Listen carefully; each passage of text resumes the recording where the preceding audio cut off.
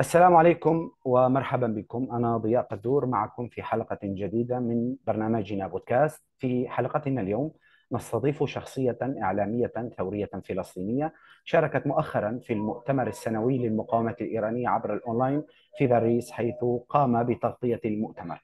ضيفنا الكريم اليوم في حلقتنا اليوم هو الأستاذ أحمد مراد رئيس تحرير مؤسسة النمسا ميديا المختصة بالسياسة والناشطة في ملف حقوق اللاجئين ومتابعة قضايا التطرف الديني والسياسي.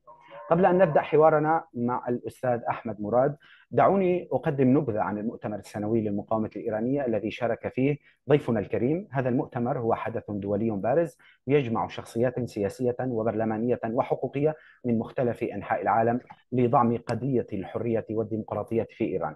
يعقد المؤتمر السنوي بحضور السيدة مريم رجوي رئيسة المنتخبة للجمهورية من قبل المقاومة الإيرانية للمرحلة الانتقالية.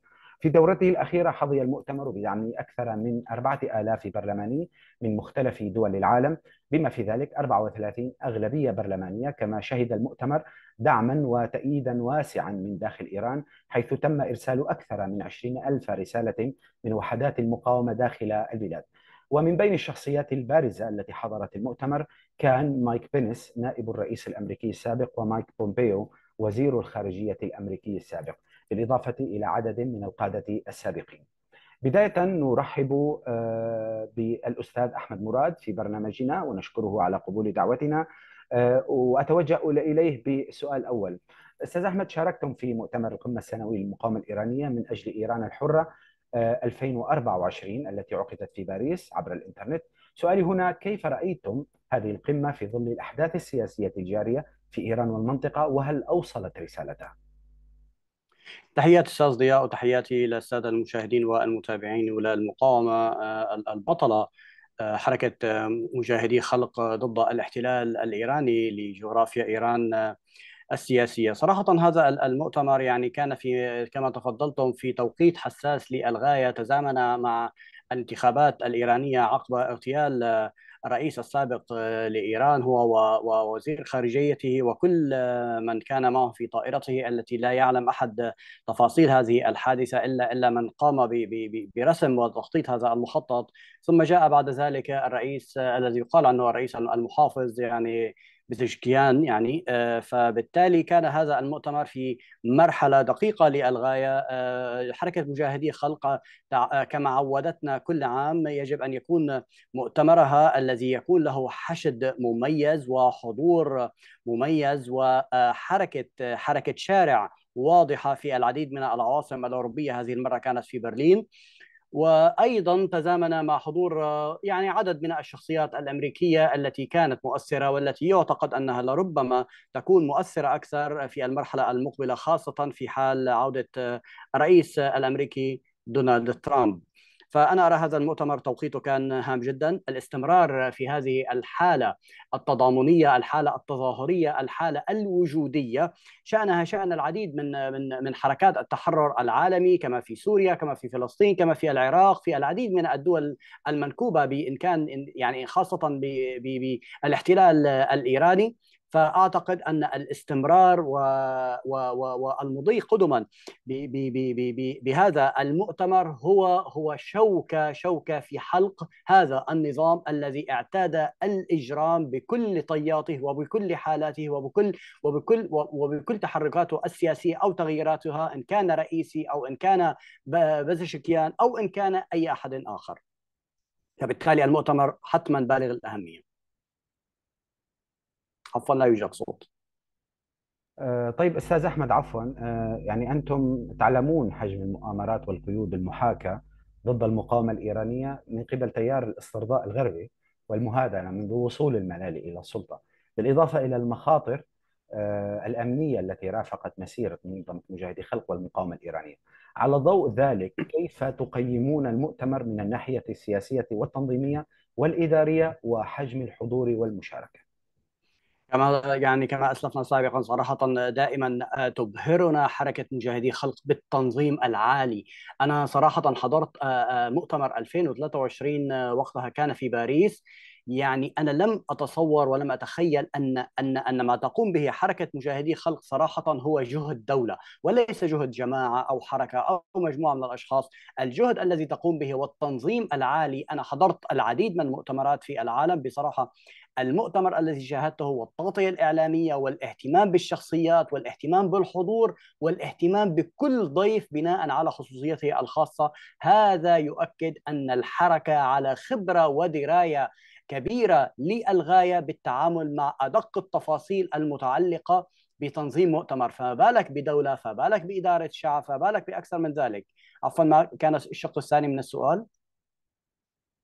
الشق الثاني من السؤال هو يعني كيف تقيمون آه، المؤتمر من الناحية السياسية والتنظيمية والإدارية؟ نعم. وحجم الحضور والمشاركة، أنتم تحدثتم عن نعم. عن الناحية الاداريه جانب الت...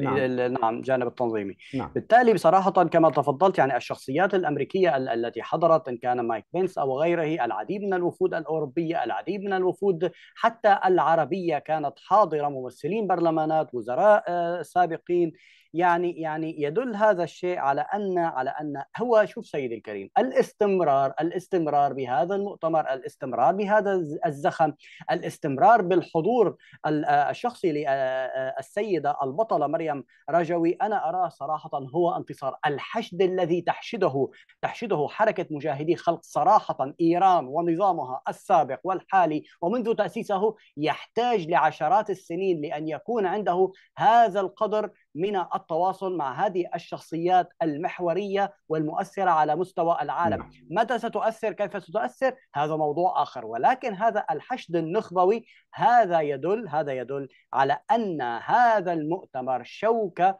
شوكة في خاصرة وفي حلق وفي يعني وفي كل أجزاء هذا النظام تؤرق ودائما عمله أنا راقبت السنة الفائتة عمل عمل النظام الإيراني على إفشال المؤتمر، عمل على إبطال المظاهرات، هذا العام لم يستطع أن يقوم بشيء ولا حتى العام السابق ولا سابقا، في العام 2018 تجرأ تجرأ أسد الله أسدي أسد الله نعم. أسدي كان السفير أو عفوا آسف السكرتير الثالث في سفارة سفارة آه، آه، إيران في النمسا بمحاولة تفجير هذا المؤتمر وحكم عليه بالسجن المؤبد في بلجيكا ولكن تم التفاوض عليه في مرحلة متقدمة، هذا دليل على أن النظام يهمه النظام الإيراني يهمه إفشال وإبطال هذا المؤتمر بأي طريقة وبأي ثمن كان وإن كان من خلال العمل الإرهابي داخل الأراضي الأوروبية نعم طيب آه، أستاذ أحمد يعني بالعودة لتظاهرة برلين ما هو نعم. تقييمكم نعم. وتفسيركم لتظاهرة برلين وفعالياتها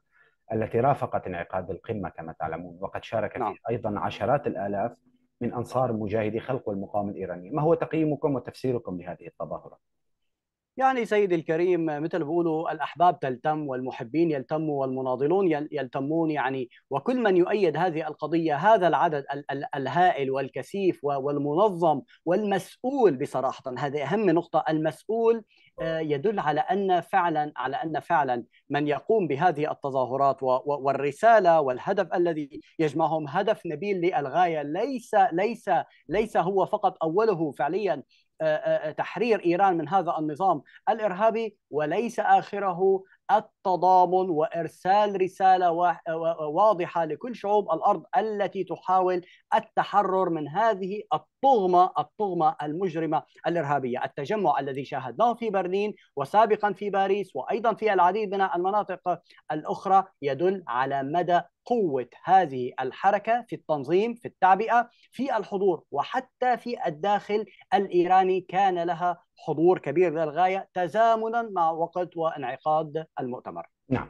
طيب أستاذ أحمد سؤال مهم أن نطلع على الداخل الإيراني، أنتم مطلعين على مشاركة ودعم وحدات المقاومة التابعة لمنظمة مجاهدي خلق في الداخل الإيراني للمؤتمرات السنوية السابقة والحالية. هم مواطنين من داخل إيران ويعني آه، يقومون بأنشطة مناهضة للكبت والقمع داخل طهران. كيف تقيمون هذه المشاركة وهذا التواصل في ظل وجود سلطة قمعية وقيود ورقابة متشددة يعني على وسائل الاتصال والتواصل الاجتماعي وأيضا عقوبات قاسية تصل إلى آه، حد الإعدام بحق من يتواصل مع منظمة مشاهدي خلق. يعني أنا أذكر في القمة الأخيرة كان هناك عدة آلاف من المشاركات من وحدات المقاومة داخل إيران، هذه المقاومة تنمو ويعني تتطور من خلال وحدات المقاومة داخل إيران يوما بعد يوم تشكل أيضا هاجس للنظام الحاكم، كيف تقيمون هذه المشاركة في ظل القمع والسياسة الكبت الحكومية؟ نعم أستاذ يعني صراحة كما تفضلت يعني من يواجه النظام الإيراني نحن أعتقد لدينا تجربة تجربة حية وهي مواجهة النظام السوري والذي هم يعني هم هم الشيطان يعني من أبناء شيطان واحد إن كان النظام السوري والنظام الإيراني. والوقوف بوجه هذا الأنظمة صراحة بحد ذاته بطولة خاصة في حال تزامن تزامن يعني مع على على أن هذا النظام الإجرامي الإرهابي يسيطر على كل الأراضي يعني أو منطقه إيران السياسية يسيطر عليها فبالك من يجرؤ ويتظاهر أو يتضامن أو يشارك بهذا المؤتمر بأي طريقة كانت حتى ولو كان بشعار بلافته بعمل بعمل يؤرق هذا النظام. صراحة هو عمل بطولي ويسجل لهم على أنهم شعب يضحي ويقدم دماءه طلبا للتحرر ومحاولة لإذهاب هذا النظام الإجرامي ومواجهته بصدر عاري مهما كانت النتائج. ندرك ونعلم أن العديد من من من هو منتسب إلى لحركة مجاهدي خلق فقط لأنه منتسب من الممكن أن يعدم فورا يعني أن يتلقى حكم الإعدام في إيران دون محاكمة أو ضمن محاكمات سورية. فصراحة كل من وقف وكل من تضامن وكل من ظهر وكل من أيد وكل من شارك هو بطل حقيقي ولا يريد فقط الحرية لإيران بل يريد أن يكون نموذج يحتذى به لكل الشعوب التي تحاول التحرر من طواغيتها خاصة خاصة الدول العربية التي تسيطر عليها إيران من العراق إلى إلى سوريا إلى لبنان إلى غزة إلى اليمين إلى اليمن. إلى العديد من المناطق التي يسعى النظام الإيراني لتخريبها إن كان في أراضيه أو إن كان في الأراضي العربية الأخرى. نعم، طيب سؤال أخير أستاذ أحمد يعني موضوع مهم أن نسلط الضوء عليه هو خطاب السيده مريم رجوي رئيس نعم. الجمهورية المنتخبة من قبل المقاومة الإيرانية للمرحلة الانتقالية، أنتم استمعتم لخطابها في مؤتمر القمة السنوية. كيف تقيمون كلمتها في هذه القمة؟ وكيف رأيتم أيضا موقف الحضور وبشكل عام موقف موقف حضرتكم وموقف الحضور من آه، برنامجها المكون من عشرة نقاط لمستقبل إيران الحرة غدا. نعم نعم نعم صحيح. يعني صراحة السيدة مريم آه، رجوي عندها عندها ابتسامة بصراحة تستطيع أن تخترق بها حصون كل أعدائها وكل وكل من يحاول يعني أن يزعزع أو يحاول أن يشوش يعني على على على على على آه، آه، حالتها التحررية صراحة بابتسامتها وبحضورها وبكلماتها وبخطابها تستطيع أن أن تلهب القلوب وتستقطبهم لصالحها الكلام والخطاب الذي تفضلت به السيدة مريم رجوي. كما عودتنا دائما خطاب واضح يوصف الحالة الإجرامية لهذا النظام المجرم يوصف حالة الاعتقالات يوصف الحالة الإقصائية يوصف حالة الإجرام الذي يقوم به هذا النظام الإيراني إن كان في إيران أو على الطريقة العابرة للحدود. يوصف حالة استقبالها للضيوف الضخمين والذي لهم وزن ثقيل على المستوى العالمي باحترام وتقدير صراحة متناهي ابتسامة السيده رجوي قادرة قادرة على أن تقهر النظام الإيراني وكل رجالاته في كل لحظة من ظهورها.